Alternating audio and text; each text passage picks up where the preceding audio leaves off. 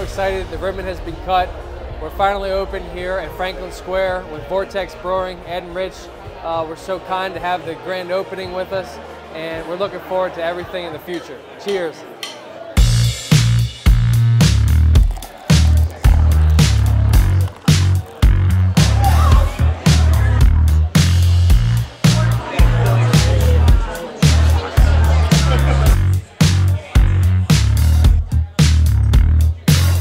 Glad to have Vortex Brewing here in New Freedom. Thanks to Burkentine and their celebration here for the grand opening of Franklin Square. Welcome to New Freedom.